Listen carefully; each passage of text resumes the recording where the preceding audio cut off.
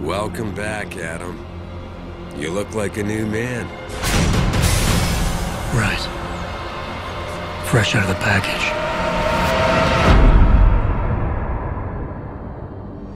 I'm sorry for what happened to you. We are being attacked by an invisible enemy. They conceal. They manipulate. They're more than human. They are like you. Find them. All the hate. All the violence. All the lies. All of it has a source. And they are tearing this world apart.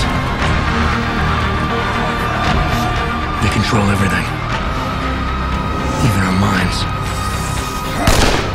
And I have to stop them. Well, looky here. We got us a Boy Scout.